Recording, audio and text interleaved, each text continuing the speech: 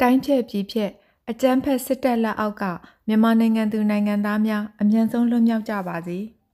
ဒီချင်မောင်ဟင်းညိုချက်တဲ့နီလေးကိုမေးထားတာကနိုင်ငံသားတစ်ယောက်ပါဒါကြောင့်မလို့အင်္ဂလိပ်လိုစာတန်းထိုးထားပါတယ်ပုံမှန်ချင်မောင်ရွက်ဟင်းရည်ချက်တဲ့ခါမှာငပိစိန်သားနဲ့ပစွန်ကြောက်လေးခတ်လေးရှိတယ်။အခုခါမှာတော့အရသာအတွက်စက်သားမှုန့်နဲ့စားကိုပဲအဓိကအသုံးပြုထားပါတယ်။ အနက်ရသာလေးမှုေးတက်လာဖို့အတွက်ချင်းကျွတ်သွန်ဖြူဓားပြရိုက်ထားတာကျွတ်သွန်နီနဲ့မြူသီးစင်းကိုထက်ချမ်းခွဲပြီးထည့်ပါမယ်။အခုအသုံးပြုတဲ့ချင်မောင်ရွက်ချောက်ကချင်မောင်အယိုးဖြူမျိုးဖြစ်ပါတယ်။အရွက်ကနူးညံ့ပြီးတော့အချင်းအရသာလေးကပေါ့တယ်။ကိုကချင်မောင်အယိုးနီအချောက်ကိုသုံးမယ်ဆိုရင်အရွက်ရဲ့ပမာဏနည်းနည်းလျှော့ထည့်ဖို့လိုနိုင်ပါတယ်။ရေ900မီလီလီတာကိုစူပွက်အောင်ကျိုးတယ်။ကြက်သားမုံကလက်ဖက်ရည်စွန်းတစ်ဝက် စားကလည်းလက်ဖက်ရည်စွန်းတစ်ဝက်ရော့ရော့လေးထည့်ပါတယ်။ပြီးလို့ရှိရင်ချင်မောင်ရွက်6တွေကိုထည့်ပေးလိုက်တာပဲအဖုံးလေးခဏအုပ်ထားလို့ရှိရင်ချင်မောင်ရွက်ပြော့သွားပြီဆိုတာနဲ့ဟင်းညူကအစင်သင်းဖြစ်ပြီ